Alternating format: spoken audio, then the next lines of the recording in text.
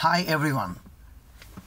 Here I am helping for you like some hidden features which having on Suzuki Swift 2014 model or 2010 model. So uh, I will show you how to change or how to use uh, degree Celsius to Fahrenheit or Fahrenheit to degree Celsius. So you can you can you can do like this. First you have to change you have to come like this press it on range.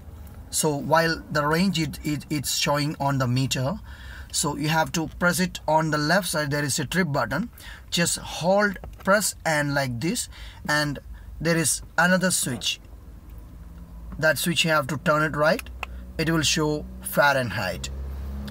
So the same way you can press it hold on left button and press it on the right button there is turn it right it's coming to degree Celsius. So this is hidden features for Suzuki Swift.